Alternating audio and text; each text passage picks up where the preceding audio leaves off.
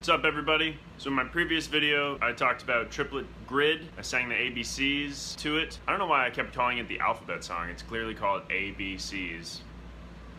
I don't know. So now in this video, I'm gonna take triplet grid, show you how to put it on the drum set. It's really beneficial to take what we work on practice and on a snare drum and try to put it on the drum set. But why would I need to do that? It'll sound cool. So I stuffed my tiny little car with all my drums and drove on down to the train tracks.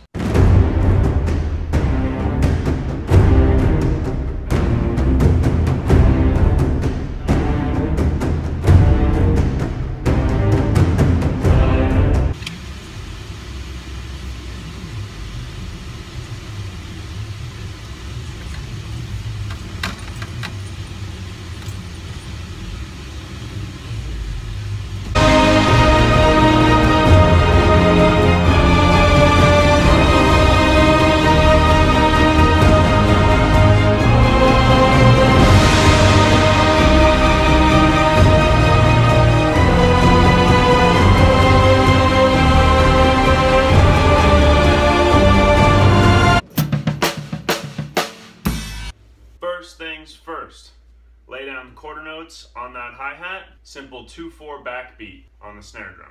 While you're doing this groove, the first measure, you're gonna play quarter notes on the bass drum on the downbeats. Just one, two, three, four. Now here comes the tricky part.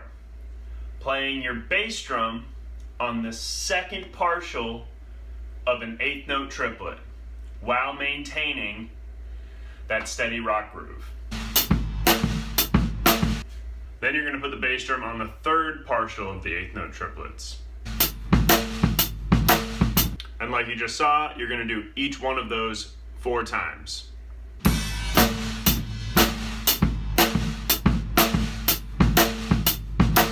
Then we're going to move along to the twos.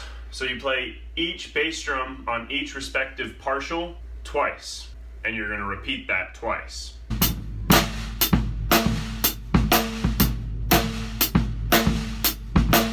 Then here comes the really tricky part. In the last section, you're going to play the accents only one time on each partial, which means it's going to feel suddenly in 3-4. However, that standard rock groove that you're still going on strong is going to force you to still feel that you're in 4-4. Thus,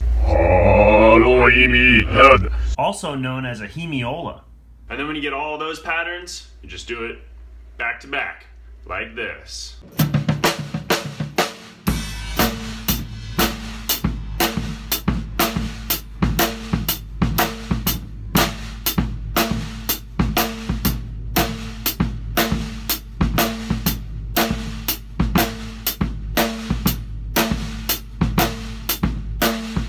Alright, thanks for watching me put triplet grid on a drum set. It's so much fun to put rudiments on the drum set. Do it, do it, do it, do it. Alright, roll credits.